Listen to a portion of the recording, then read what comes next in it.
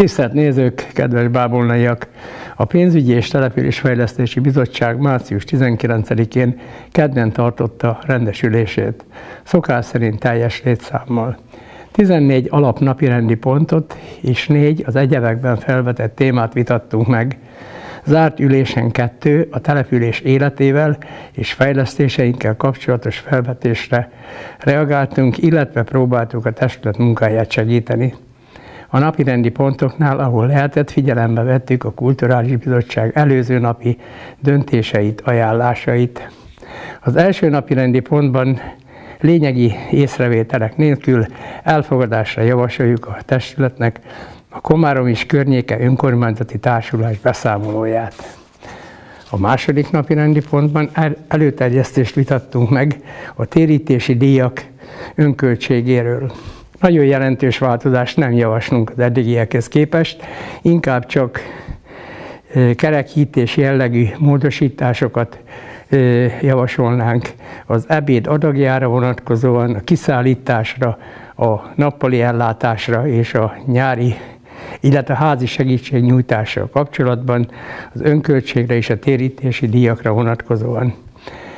A napirend második részében a bölcsődei ellátásról, annak költségeiről döntöttünk, melyen nem kívánunk változtatni a jelenlegi állapoton.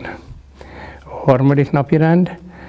Avar és kerti hulladék égetésére vonatkozó rendelet megalkotásához igyekeztünk hozzájárulni.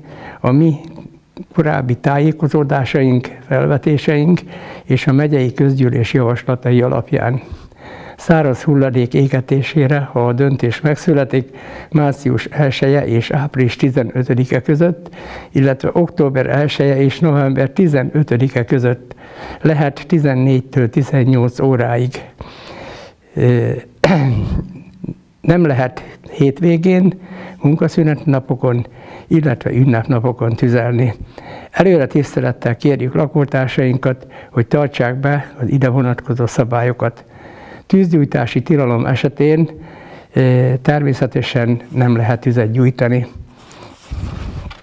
A negyedik napi rendi pontban a gyermek és ifjúsági önkormányzat beszámolóját és programját elfogadásra javasoljuk a testületnek. Az ötödik napi rendi pont civil szervezetek támogatását továbbra is hasonló mértékben javasoljuk, mint eddig. Részjavaslataink a Vakok és Gyengéllátók megyei Egyesületét továbbra is 20 ezer forinttal támogassuk. A helyi általános iskola rendezvényeihez létszámarányosan 240 ezer forinttal járuljunk hozzá, és a művészeti iskolát és zenekart együtt 2,8 millió forinttal támogassuk. Hatodik napi rend. A megyei identitás pályázaton javasoljuk az indulást, tehát település párjaként a finanszírozás alakulásának függvényében.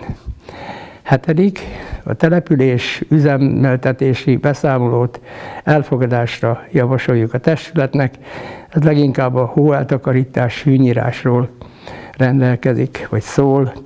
A nyolcadik napi rendi pontban a közfoglalkoztatási program változását, ha nem is örömmel, de tudomásul vesszük. Azaz vállaljuk, hogy a közmunkások bérét fele arányban állja az önkormányzatunk, hisz településünk esztétikus képéhez jelentősen hozzájárulnak. A kilencedik napi rendi pont ban szintén elfogadásra javasoljuk a nem közművel összegyűjtött háztartási szennyvíz begyűjtésével kapcsolatos beszámolót. Soroló jellegű a tízes napi rendi pont, egy lakossági megkeresésre foglalkoztunk, ismételtem már szennyvíz rákötéssel, mivel ez kiderült, hogy nem lehetséges, ezért támogatjuk, hogy a talajterhelési díjat engedjen az önkormányzat 2018-ra, ha bemutatja számlákkal, hogy ő valóban eltávolította területéről a szennyvizet. A 11. napi rendi pontban az alvó doboz ajándékozást nem javasoljuk, hanem az eddigi bábolnai gyakorlat folytatására voksolnánk. A 12. napi rendi pontban ingatlan vásárlás körül próbáltunk rendet vágni. Egyik lakótársunknak sikerült lakást vásárolni, ezért a tőlünk megvásárolt telekre nem tart igényt. Fölvetődött, hogy mi legyen a sorsa, javasoljuk, hogy ebben az esetben ő értékesítse olyan feltételekkel, amilyennel vásárolta, különös tekintettel az ár és beépítési kötelezettségre.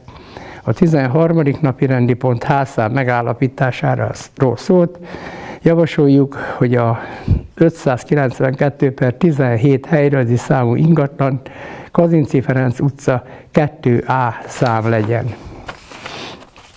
A 14. napirendi pontban a ZDV ZRT megkeresésére a 401 per 4 helyrezi számú ingatlant nem kívánjuk ingyen átadni az államnak. Jelképes évi 1000 forint bérleti díjat állapítunk meg, és ennek fejében reméljük, hogy a terület igényes rendbetartásáról gondoskodnak. Viszont hozzájárulnánk, hogy a hibás adagoló szivattyút kicseréljék 90 ezer forint plusz áfa értékben a 2019. évi bérleti díj terhére. Az egyebek napirendi pontnak négy a tétele volt. Az első napirendi pontban saját bevételeink és fizetési kötelezettségeink középtávú tervét az előterjesztés szerint elfogadásra javasoljuk a testületnek. A második napi rendi, illetve második egyebek pontban az épülő beruházásaink hitel felvételéhez szükséges biztosítást kötni, amit javaslunk megtenni. Harmadik rész, egység a bábolnai közalapítvány által nyert pénzösszegből ne szereltessünk az árajánlat szerinti napelemet, hanem költsük az egyéb lehetőségekre az energiatudatos szemlélet kialakításához és az egyebek utolsó tétele volt, mint láthatták az Ácsi útról kifele, Ácsi út fele kifele haladva a pálya fele erdőtelepítés zajlik, nagyon szakszerűen és szépen csinálja a vállalkozó, sőt még a kötelezőn túl a fenyők kiegészítésére is próbál forrás szerezni, annál is inkább, mert a kivitelezés jelentős összeggel alulmúlta a várakozásokat, és azt javasolnánk, hogy részben erre, részben pedig a további fenntartásra használjuk fel ezt a pénzt. Ezzel a napirendi pontok végére értünk. Köszönöm megtisztelő figyelmüket, viszontlátásra!